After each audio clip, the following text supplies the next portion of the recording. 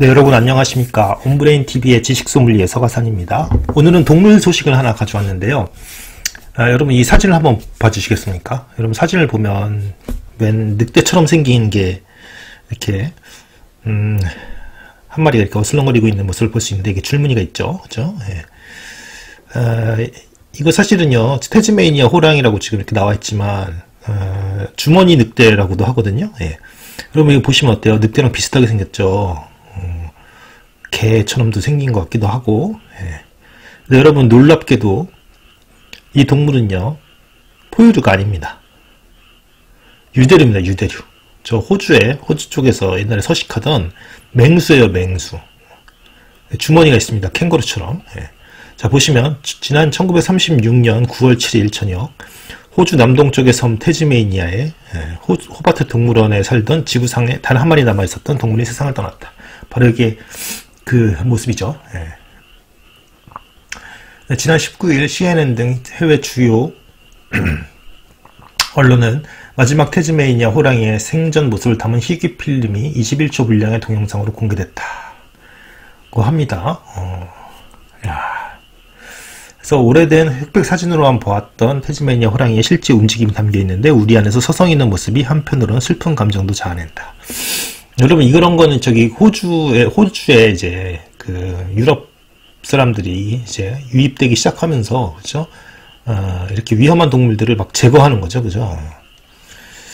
아, 참막 사냥해서 죽이기도 하고 그렇죠? 예. 또는 뭐 또는 어, 다른 동물이 들여온 그 병균에 감염된다든지 아니면은 뭐 그런 식으로 그렇죠? 예. 그래서 이 영상은 지난 1935년 여행기 제작을 위해서 촬영된 것으로 이듬, 이듬해 벤자민은 음, 테즈메니아 호랑이 종으로서는 마지막을 알리고 역사 속으로 사라졌다. 아, 벤자민이라는 이름인가 보죠. 예. 그래서 테즈메니아 호랑이 영상의 희소성 때문에 1초마다 움직이는 이미지 자체도 매우 소중하다면서 이번에 새롭게 디지털화된 이 영상을 공유하게 되어서 공유할 수 있게 돼서 너무 흥분된다. 자, 이 볼까요 한번? 네. 서성 있는 모습이 나오네요. 한 1, 1초, 2초, 3초 정도 되는 것 같은데, 그죠? 잠깐 나오는데, 와, 보십시오. 어, 이게 지구상 마지막에 있었던 그 동물입니다.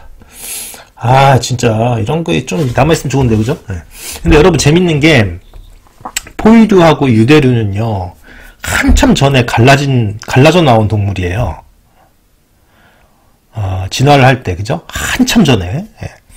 갈라진 동물들인데 재미있는 게 포유류에 해당하는 동물들은 유대류에도 있어요. 그러니까 무슨 얘기냐면 자 보시면 그러니까 이런 걸 수렴 진화라고 그러거든요. 여러분 보시면 자 한번 이렇게 설명을 해드릴게요.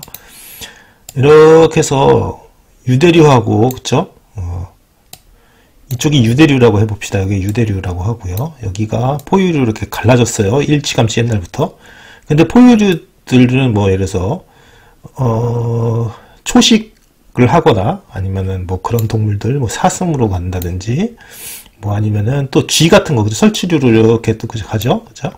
그것도 뭐 예를 들어서 뭐 뭐가 있을까요? 어, 코알라 뭐 사슴도 있고 그 다음에 어, 뭐 코끼리에 해당하는 것도 있고 코끼리 같은 동물들도 있고 뭐 여러 가지 동물들 있죠. 포유류에. 뭐 예를 들어서 그다음에 뭐 늑대 같은 거 그죠? 그런 객과 동물 그다음 고양이 같은 것도 있을 거고. 근데 여기도 비슷한 동물들이 있는 거예요. 그러니까 환경에 환경에 따라서 주머니 쥐가 있고요.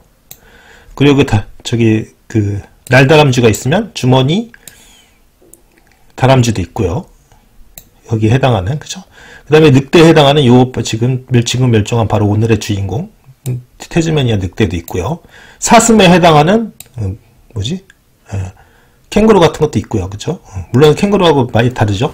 하지만 여기에는 없는 거 그죠? 예를 들어서 호, 그 호주에만 있는 유대류 예를 들어서 뭐 코알라 같은 거는 그죠? 여기 좀 여기에는 이제 그 포유류에는 해당하는 게 없죠. 이런 식으로 이렇게 갈라져 나왔지만 비슷한 생태적 지위를 가지고 있는 동물들 들어서 다람쥐와 다람쥐와 주머니 다람쥐라든지 아니면은 뭐 어, 날다람쥐와 주머니 날다람쥐라든지 그 다음에 또 뭐그 늑대와 주머니 늑대 이런 것들이 서로 대응하는 게 있, 있, 단 말이죠. 그쵸? 어.